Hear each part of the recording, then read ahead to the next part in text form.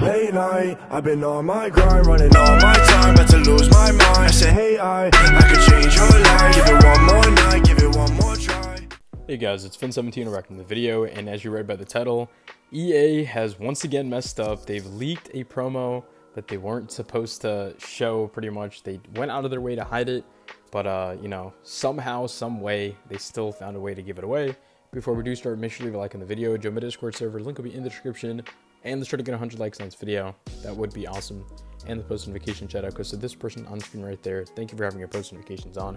If you guys do want a post notification shout out, make sure to be subscribed, have your notifications on, doing the first people to comment on one of my videos. And let's get straight into this, guys. So on the reveal stream today, uh, you know, Nick Messina, our community manager, showed us all the sets, showed us the Steam Peaks for the Field Pass, and then he specifically went to the, the Marvel one, the 140 overall Dexter Lawrence one. Now this one takes players, iconic players from all promos that are within the Field Pass, so it will be, as you can see, uh, Field Pass iconics, uh, kickoff, and a secret promo. They even went out of their way to make a question mark because last year what they did was they just revealed the promo. I mean, like you could see what promos were coming.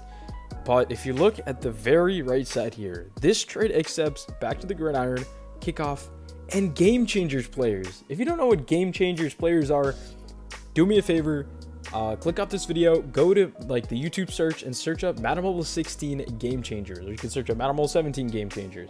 And I think those are, and I think 15 had them too. But I remember them from 16, and the reason I'm saying 16 is because one card that was already confirmed to come back is Dri Archer.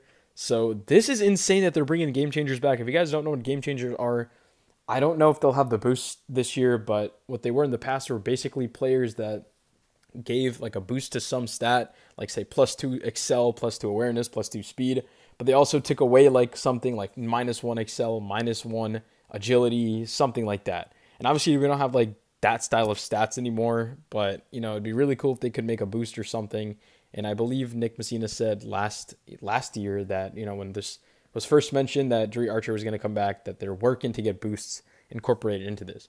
But this is insane because does this mean promos are going to be like part of the 10th anniversary stuff now? They're going to bring back like throwback promos.